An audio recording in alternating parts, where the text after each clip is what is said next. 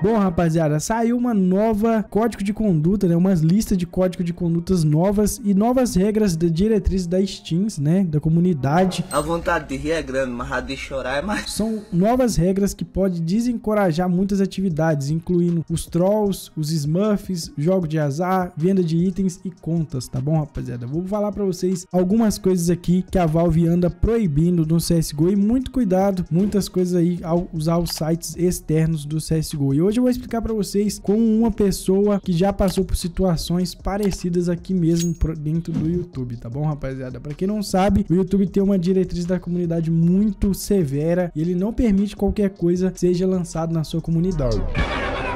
Você conhece o Keydrop, um dos melhores sites comprovadamente justos de skins de CSGO. Eu vim aqui no Keydrop, abri algumas caixas, gastei 200 dólares, saí com 262 e ainda fiz um upgrade muito insano de uma K de 194 para uma faca de 300 e poucos dólares.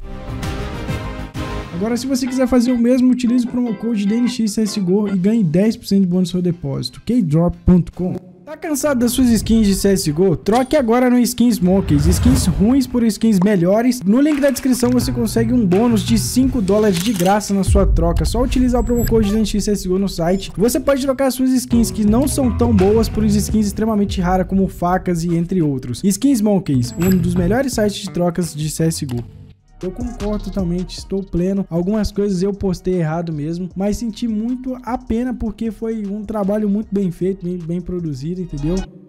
Que eu não sabia muito das regras de diretriz. Hoje a gente já sabe e a gente pagou por isso, já resolveu, já tá tudo certo, entendeu? Mas basicamente, rapaziada, agora a Valve fez uma nova update para bloquear algumas pessoas que jogam CSGO da forma incorreta. E o que que seria isso, galera? Basicamente seria Valve, dona da maior loja de jogos digitais para PC, liberou recentemente uma atualização no códigos de conduta online e nas regras das diretrizes do Steam, que pode afetar diretamente algumas atividades de jogos de azar, vendas de itens, contas e até mesmo smurfings e troll. Para quem não sabe, galera, eu já passei por uma situação bem complicada aqui no canal, fiquei muito triste porque a gente não poderia postar vídeo, não podia gravar vídeo, que era basicamente, eu já falei com alguns youtubers aqui que grava CS também, tá rapaziada, que é uma coisa muito importante de vocês saberem, que são algo que vocês não podem ficar mostrando nos seus canais de, do YouTube, tipo jogos de azar, jogos de azar no caso seria apostas esportivas, essas coisas assim, entendeu, galera? Polygon, entendeu? Empire. Já tô logo falando porque você sabe que eu não deixo de falar. Eu vou ter que explicar para os meus inscritos da forma correta. Tipo assim, para os meus inscritos ainda sai bom esses sites porque basicamente alguns inscritos ganham muito saldo, etc. Conseguem ganhar skins de graça, mas eu não tô entendendo o motivo que a Valve anda rondando esse tipo de, de sites, entendeu? Não só a Valve, o YouTube já proíbe essas coisas assim, né, galera? De apostas, essas coisas assim. Eu acho certo até, porque é algo muito complicado. Mas mas algumas coisas, tipo, no CS, mano, a pessoal ganha as coisas de graça, tá ligado? Não é que nem Blaze ou coisa do tipo assim. Então, basicamente, as novas atualizações, as novas políticas tá bem complicado. Você pode conferir os novos códigos de conduta online e nas regras e diretrizes da Steam no site oficial da Valve. Porém, a grande destaque da atualização é a possível ação contra atividades de jogos de azar, algo em que a Valve não possui históricos de ir contra, tá vendo? A Valve não tá nem aí para essas coisas, né? E basicamente não não vai estar, tá, eu creio que não. Segundo o novo código de conduta online da Steam, exemplo de tal comportamento proíbe, inclui, mas não se limitam à publicação de anúncios, ponto vírgula, realização de concursos, ponto vírgula, jogatina, ponto vírgula, comprar ou vender contas da Steam. Isso daí já, galera, extremamente proibido tanto no YouTube quanto na Steam. Agora tá mais claro ainda, tá bom, rapaziada? Eu fiz um vídeo aqui no canal sobre isso aí, vender, comprar, gerar contas da Steam. Então, mano, eu fui prejudicado com isso aí. Mas eu só queria explicar pra galera que não podia fazer isso e o YouTube entendeu da forma errada. Eu deixei ele entender da forma que ele quis, mas...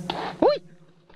Não era isso, não pode fazer isso, tá, rapaziada? Vender contas da Steam ou coisa do tipo. Vender conteúdo, vales presentes ou outros itens. E também pedir doações. Agora, isso aqui eu achei bem banal da Valve colocar isso aqui no código de condutas. Porque não faz sentido, mano. O cara tem skin, beleza, o cara tá lá pedindo uma skin, pá, ô, mano, me dá uma skin que não sei o que lá. É só por isso o cara vai ser banido, mano. Pelo amor de Deus, não faz sentido algum, algum. Por quê? Porque o cara não tá querendo dar? Que demais! Não tá querendo atenção, só simplesmente tchau, obrigado, de tira da Steam, pronto, acabou, mano, entendeu? Não tem por que ficar fazendo isso. Agora vai dar ban no, nessas coisas. Na realidade, isso aqui não fala nada de ban, não fala nada de ban, só fala que é uma nova diretriz da comunidade. Que tipo assim, se for muito além de tudo que eles estão falando aqui, se o cara for muito chato, insultar, quer não sei o que lá, o cara gravar e mandar pra Valve, você pode sim tomar um trade ban, mano. Mas não é nada muito sério também não, tá, rapaziada? Agora, uma coisa que, que me deixou encado foi basicamente os jogos de azar, né, galera? Que, tipo, complicado, né, rapaziada? Complicado. Não é muito bem o que eles quis dizer, não, tá? Jogos de azar, mas é algo que eles preferem que os membros da Steam não utilizem, entendeu? Não é algo que é 100% digno, que vai falar, vai dar ban, não sei o que lá e por aí vai, tá bom? Mas são novas regras, regras que aplicam na diretriz da comunidade, rapaziada, certo? Então fiquem ligados aí para não dar mole e não.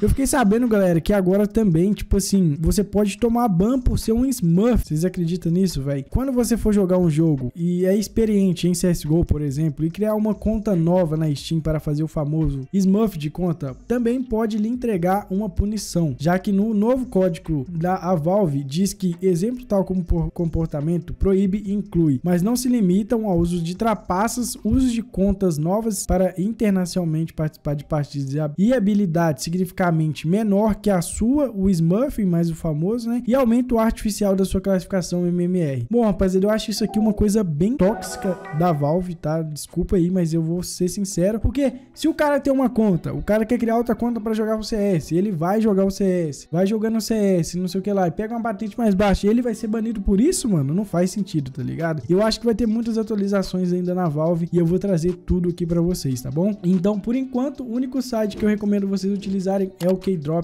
e os Skins Monkeys para trocar suas skins. Agora, sites para vender, sites de azar, corre disso, tá, mano? Por enquanto, né? Mas eu acho que vai estar tá de boa também, tá, rapaziada? Eu acho que isso aqui é tudo contratempo da Valve, tá bom? Um, um alarmando a comunidade aí mais, certo? Então, eu espero que vocês tenham gostado. E se caso vocês gostaram, rapaziada, se inscreve. Claro que vocês não gostaram, né, do, da notícia, mas se inscreve no canal dessas coisas aqui que for, for postando, tá bom? Que eu vou postar tudo para vocês. Então, se inscreve aí no canal. Valeu, falou e fui.